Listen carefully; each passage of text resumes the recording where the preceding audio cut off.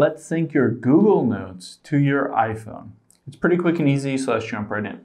Now, I'm going to open up the Notes app here, and you can see at the very top is iCloud, and then Gmail, and then on my iPhone.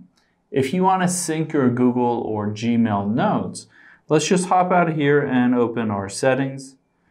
And then we will scroll down until we find the mail option here, right there.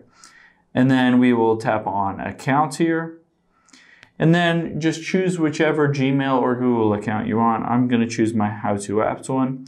And now you can see Notes is toggled off. All I have to do is toggle that on, and now that will automatically sync all of my notes from this email account onto my iPhone. So I can go over to my folders app here and you can see how to apps has now been added on here. I don't have any notes, but if you did, they will all be synced over to your iPhone Notes app. Hope this helps. Thanks for your time today and I'll see you on the next one.